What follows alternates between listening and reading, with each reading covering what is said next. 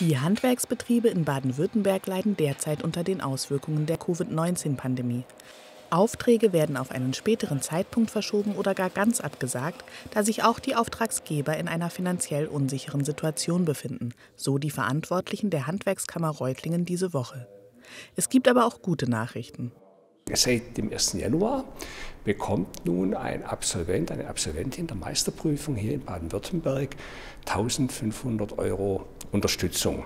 Wir haben bereits 140.000 Euro jetzt ausbezahlt an die Antragsteller. Damit will man die Ungleichheit akademischer und beruflicher Bildung, die wir ja immer angeprangert haben, abbauen. Die Einführung einer Prämie wurde von den Handwerkern im Land lange Zeit gefordert und von den Handwerkskammern unterstützt. Es ist gelungen, in Gesprächen mit Ministerpräsident Kretschmann ihn von der Notwendigkeit und Nützlichkeit dieser Prämie zu überzeugen. Ergänzend zur Meisterprämie plant die Landesregierung in Zukunft auch eine Gründungs- und Übernahmeprämie für Jungmeisterinnen und Jungmeister einzuführen.